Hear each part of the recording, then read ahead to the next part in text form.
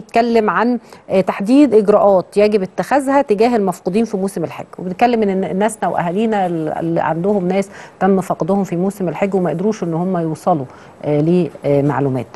آه، شايف الخبر إزاي؟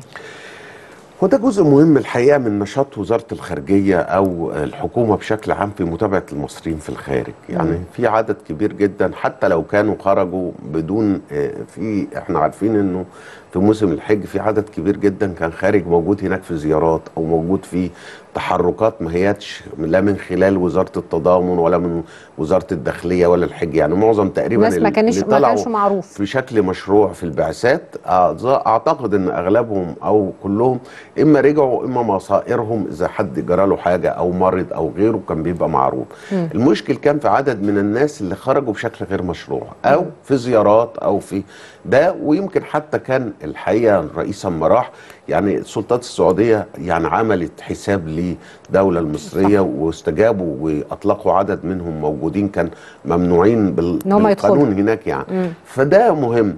فكرة وزارة الخارجية إنه يعملوا دي إن إيه للناس المفقودة ده مهم قوي في السياق ده. يمكن آه، ده جزء من آه، آه، متابعة أحوال ومصالح المصريين. ويمكن بهذه المناسبة كان في النهارده مؤتمر الداخل- أو وزارة الخارجية. عاملة مؤتمر المصريين في الخارج بشكل عام. كان في استجابة وكلام مهم على المتابعة وإذا حد جرى له حاجة بره إنه الدولة بتتكفل بإعادته أو كده. فدي كلها نقاط أعتقد مهمة ونقاط في إيه أهم المطالب اللي تم طرحها في المؤتمر برضو؟ بقى ناخد طالما حضرتك يعني أنا أصلا هذه يعني النقطة. بصي هو الحقيقة المصريين في الخارج على مدى السنوات اللي فاتت كان عندهم جهد كويس قوي. آه. يعني بيشتغلوا لصالح الدولة آه، اللي بيواجهوا الحملات عندهم انتماء كبير. كان في ارتباط. ترجمة اللي برضو آه، الدولة قدمت لهم حاجات صح. كتيرة تمثيل في الانتخابات تمثيل في المجالس النيابيه التمثيل في غيره وزير الخارجية النهارده كان بيتكلم يمكن امبارح قبل ال- المؤتمر كانوا أعلنوا التحالف الدولي التحالف المصري آه، للعاملين في الخارج ده تمثيل آه، من كل دول العالم ودي أول خطوة وأعتقد إنه خطوة مهمة مم. عملوا تدشينه امبارح والنهاردة ممثلين هم نفس كويس. الناس دي أفكار جيدة في إنه ندعم يبقى في استثمارات يبقى بنطلع ال- المؤتمر النهارده. كان في جلسات يمكن وزير الخارجية آه قال انه إنه في آه، أفكار فيما يتعلق بتسهيلات للناس. المصريين كان عندهم بعض العراقيل القنصلية في كندا وإنه لازم نعمل الرقمنة وما يبقاش في أوراق وغيره ونستخدم التكنولوجيا. يعني كل دي تسهيلات مهمة ومراعاة مصالح المصريين بره يمكن فيها جزء إعادة المصريين لو حد جرى له حاجة.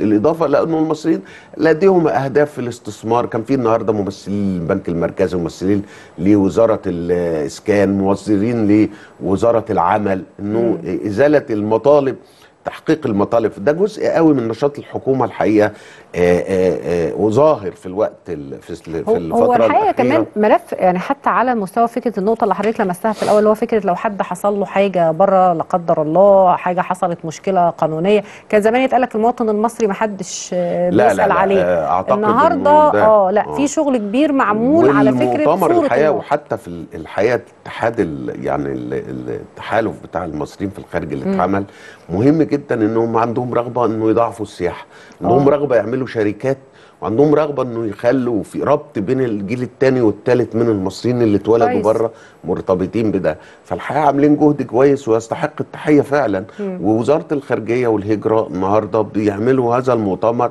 نأمل إنه يكون تنظيمه على نفس المستوى مطالب الناس ويبقوا الناس صح. ممثلين فيه بشكل كبير يعني إن شاء الله طيب حاجات اللافت للانتباه إحنا عندنا يعني عقارات بتقع.